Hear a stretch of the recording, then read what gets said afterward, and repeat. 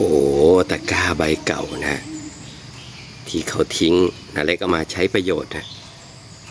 ทำเป็นกระถางต้นไม้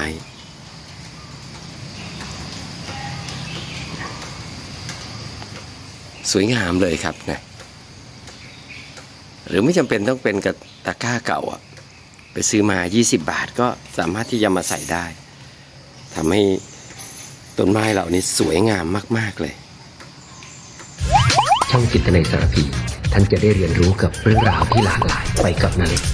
อย่าลืมกดติดตาม และกดกระดิ่งเพื่อแจ้งเตือนการลงคลิปใหม่ๆ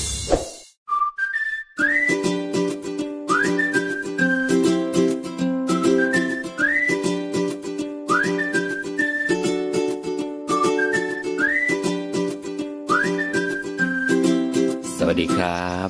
สำหรับวันนี้นะเล็กก็มีไอเดียเก๋ๆมาฝากกันนะสำหรับคนที่ ปลูกต้นไม้รักต้นไม้นะเลี้ยงไปเลี้ยงมา มันเริ่มไม่สวย ไม่สวยตรงที่กระถางนี่แหละนะกระถางมันเก่านะเก่าเริ่มไม่สวยนะเริ่มไม่งามบางทีนะกระถางเริ่มหมดสภาพเห็นไหมโอ้โหไปตั้งโชว์ใครเขามันก็น่าอายใช่ไหมฮะเนี่ยดูฮะก ระถางเก่ากระถางแตกกระถางผุอะไรอย่างเงี้ยแต่ว่า ถ้าเรารู้จักแก้ไขเนี่ย ก็ถือว่าเด็ดเลยฮะเนี่ยนาเล็กใช้เกือบตะกร้าเก่านะ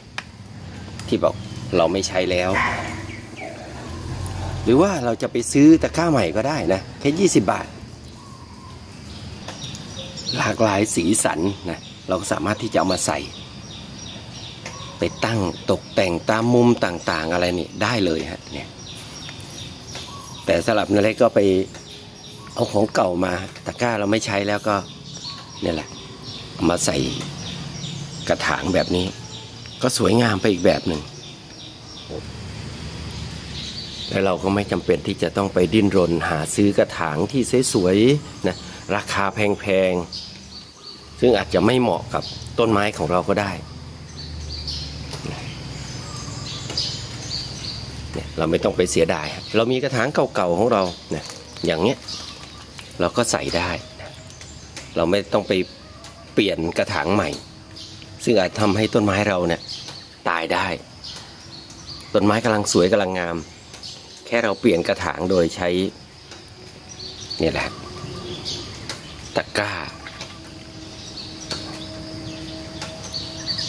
มาใส่เป็นไงฮะดูสวยดูดูดีฮะดูดี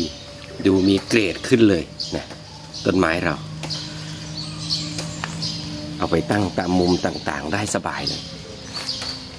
จะหาตะกร้าสีเดียวหรือหลากสีอะไรก็ได้นะ ลองดูนะฮะ ลองดู ลองจัดดู ก็เป็นหนึ่งไอเดียที่นาเล็กเอามาฝากกันนะ หวังว่าจะเกิดประโยชน์สำหรับคนที่กำลังมองหาอะไรใหม่ ๆ ที่มันไม่ซ้ำซากกับใครนะเป็นไงดูแลโปร่งฮะเนี่ยลมพัดโปร่งได้เลย ไม่อับไม่ไม่ไม่ทึบนะลมโกรกได้นะต้นไม้เราก็ดูแลได้ง่าย ยกไปรับแสงแดดก็ได้นะยกไปเปลี่ยนมุมก็ได้ ถือว่าดีเลยครับผมสำหรับคลิปนี้นะแล้วก็